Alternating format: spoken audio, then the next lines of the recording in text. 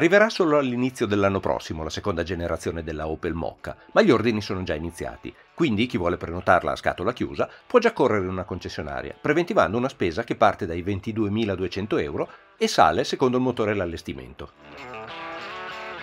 Rispetto al modello precedente, la vettura si è accorciata e alleggerita parecchio, ora misura solo 4,14 m, cioè quasi 13 cm in meno, ed è dimagrita di circa 120 kg. Ma non si tratta di una scelta che va volutamente in controtendenza rispetto al gigantismo imperante, semplicemente la Mokka 2 è ora basata sul pianale compatto CMP del gruppo PSA, che viene utilizzato già da molti modelli francesi come Peugeot 208 e 2008, DS3 Crossback, oltre che dalla stessa Opel Corsa di ultima generazione. E non dimentichiamo che dopo l'accordo di fusione tra PSA e FCA, su questa piattaforma, definita multi-energy perché è predisposta anche per la propulsione solo elettrica, verranno sviluppati anche alcuni modelli italiani, a cominciare dall'attesissima Alfa Romeo Tonale. Ma torniamo alla nuova Mocca. La linea è meno massiccia e molto più sportiva rispetto a quella del primo modello, tanto da farla sembrare quasi una coupé a 5 porte, grazie anche ai cerchi grandi, che possono arrivare a 19 pollici, agli sbalzi ridottissimi e al muso affilato, che riprende quello della Concept GT Experimental dello scorso anno.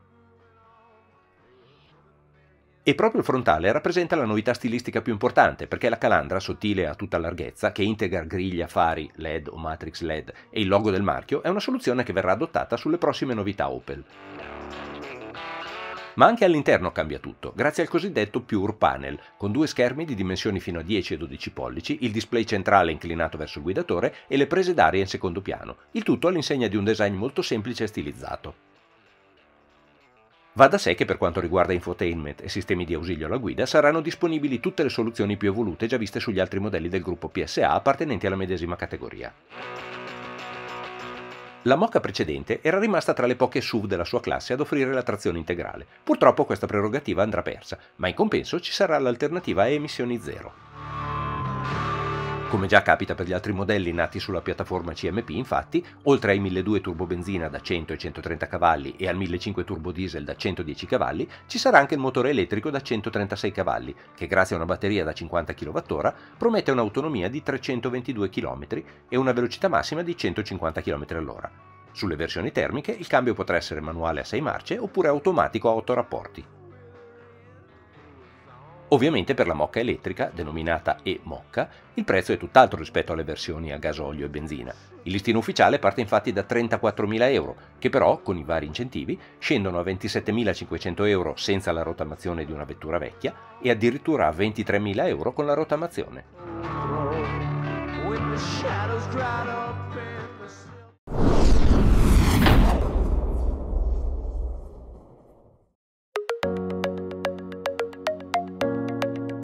Completata la gamma elettrica al 100%, con la Twingo che si è recentemente affiancata a Zoe, Kangoo e Twizy, Renault avvia l'offensiva nel campo delle ibride. In attesa di Megane e Capture con tecnologia plug-in, la prima ad arrivare è la Clio. Renault E-Tech è una vera rivoluzione copernicana. Sviluppato in casa, Renault ha pensato elettrico fin dall'inizio, partendo dal motore elettrico per aggiungere quello termico e non il contrario, come avviene di solito, ottenendo così 150 brevetti. Clio E-Tech è una full hybrid, vale a dire un'ibrida senza spina, che non ricarica la batteria collegandosi a una colonnina, ma sfruttando soprattutto il sistema di recupero di energia in frenata.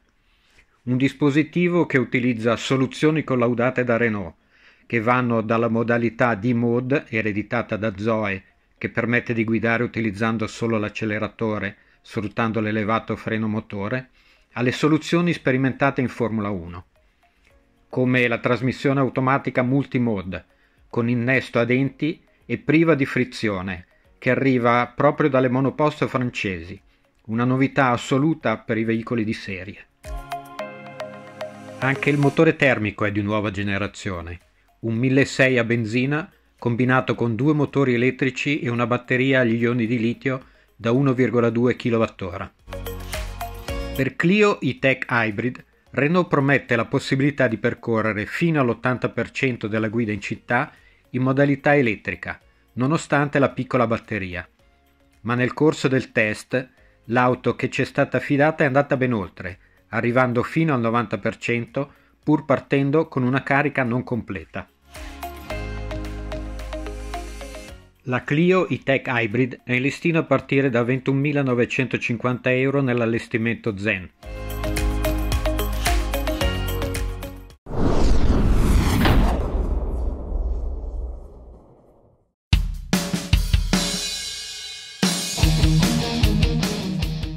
L'ibrido leggero, o mild hybrid se preferite, cioè quello che non permette di viaggiare in modalità solo elettrica, ma migliora le prestazioni del motore termico e riduce consumi ed emissioni, è un cavallo di battaglia della Suzuki ormai da parecchi anni. Tanto è vero che adesso arriva sul mercato la versione evoluta del sistema.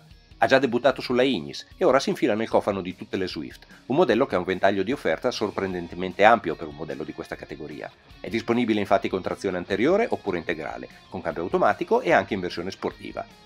C'è anche un leggero facelift, ma sono interventi marginali, mascherina più incassata, griglia nido d'ape, nuovi colori e poco altro. Il 2020 di Suzuki porta la seconda generazione del, della tecnologia Suzuki Hybrid nella gamma Swift, eh, una vera e propria gamma all'interno della gamma Suzuki. Ben più corpose sono le novità sotto il cofano. Sulla versione che per comodità possiamo chiamare normale, la cilindrata scende leggermente sotto la soglia dei 1200, ma aumenta il rapporto di compressione e la batteria passa da 3 a 10 A, permettendo al motore elettrico da quasi 2 kW di essere più presente. Secondo la Suzuki, i consumi calano in media del 15% e addirittura del 26% in città. Su strada non si nota affatto la riduzione di potenza di qualche cavallo rispetto alla versione precedente, anche perché la coppia massima viene erogata ora a 2800 giri e non più a 4400. Il motore è dolce ma pronto e tutto questo viene esaltato dalla leggerezza dell'auto, dal momento che la Swift rinnovata, pur avendo guadagnato qualche chilo, rimane una delle vetture meno pesanti e più agili della sua categoria. Benché non abbia ambizioni sportive, sa anche divertire, perché cambia direzione rapidamente, sta molto bene in strada e rolla poco, pur non avendo sospensioni rigide. E poi il cambio a 5 marce, peccato manchi la sesta, è preciso e lo sterzo sa il fatto suo. Con questo motore è possibile avere anche il cambio automatico a variazione continua, che la rende più confortevole ma le fa perdere un po' di prontezza, o in alternativa la trazione integrale, che non ne fa una fuoristrada ma le permette di uscire da situazioni imbarazzanti con una certa disinvoltura, e verosimilmente ne farà una protagonista quest'inverno in montagna. Anche la variante Sport è stata aggiornata. In questo caso però il motore termico è un 1400 turbo e il sistema ibrido funziona a 48 volt anziché a 12. Come per la 1200 diminuisce un po' la potenza complessiva, ma i kilowatt elettrici salgono a 10 e danno una bella mano ai bassi regimi, quando il turbo non ha ancora cominciato a soffiare forte. Il risultato è che le prestazioni restano notevoli come prima, tanto è vero che quest'auto ha già cominciato a vincere nei rally, e anche in questo caso calano emissioni e consumi. Il peso leggero, il cambio a 6 marce e l'assetto più tonico contribuiscono a fare della Swift Sport una delle auto più divertenti ed efficaci della sua classe, ben più di quanto i 129 cavalli dichiarati farebbero supporre. Provare per credere. Il prezzo di lancio, grazie agli incentivi statali, è inferiore ai 13.000 euro, un prezzo che comprende tutti gli ausili di sicurezza attiva e di guida autonoma di livello 2. I prezzi delle Swift rinnovate, diciamolo subito, non sono bassi in assoluto, ma diventano interessanti se ricalcolati in funzione degli incentivi e se si considera la dotazione di serie, specialmente in termini di ADAS.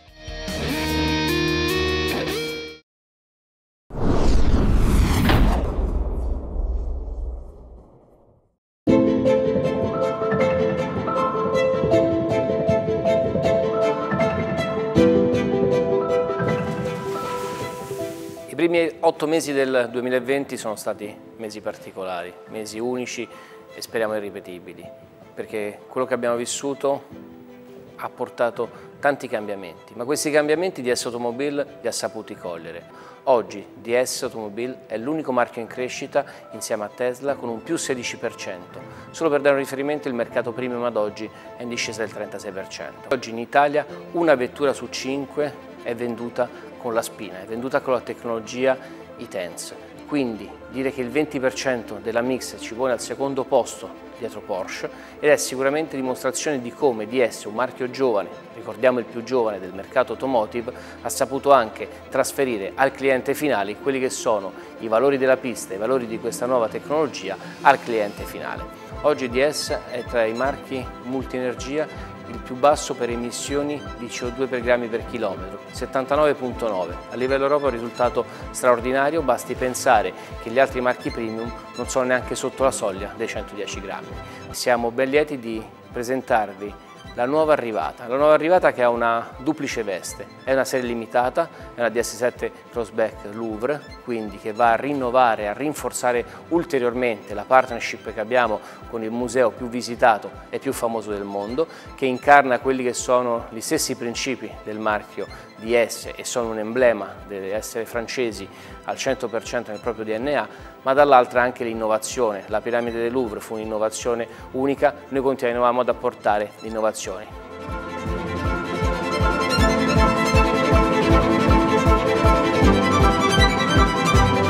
La DS7 Louvre sarà commercializzata con due motorizzazioni ibride plug-in con 58 km di autonomia a zero emissioni, quella da 225 cavalli a trazione anteriore, che fa il suo debutto in Italia, e quella da 300 cavalli a trazione integrale. Tra le sue caratterizzazioni ci sono il motivo della piramide del Louvre sulle calotte dei retrovisori esterni e sulla plancia, i cerchi pari da 20 pollici, mentre l'allestimento è praticamente full optional, ADAS compresi. E non solo, tramite il sistema di infotainment è possibile visualizzare le principali opere esposte al Louvre e ascoltarne la descrizione audio, e tutti gli acquirenti riceveranno una tessera che garantisce loro accesso illimitato alle collezioni permanenti e alle mostre temporanee del museo, un accesso prioritario e altre offerte in più di 100 musei per un anno.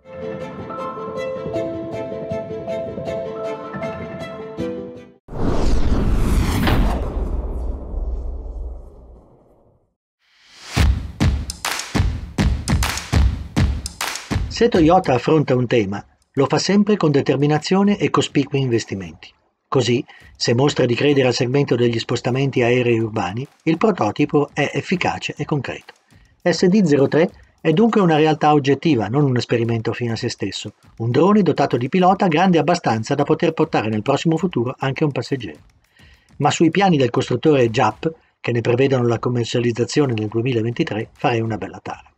Quel che è successo con le Olimpiadi, ad esempio, con il virus ancora in forte circolazione, i voli sulle città sono più che altro pindarici. Anche perché siamo ancora molto lontani da standard di sicurezza accettabili. SD-03 ha un'autonomia di soli 10 minuti, nulla. Il drone ha volato nello stadio giapponese del debutto per soli 4. E anche se la prospettiva con le nuove batterie a stato solido, più leggere e capaci ma di là da venire, è di arrivare a un range operativo di 30 minuti, saremmo ancora molto lontani da una macchina volante capace di garantire un volo di sicuro a esseri umani. Volare è complesso, certo molto più di affrontare l'aria immobile all'interno di un edificio chiuso. Affrontare vento, eventi atmosferici e soprattutto un traffico di altri doni è ben più difficile. Non credo che le città di oggi, anche le ordinatissime giapponesi, siano pronti a simili cambiamenti, né che la tecnologia, quella elettrica, sia a livello di affrontare l'operatività ma resta sempre un bel sogno, in definitiva forse proprio quello di cui abbiamo bisogno per superare questo periodo così buio.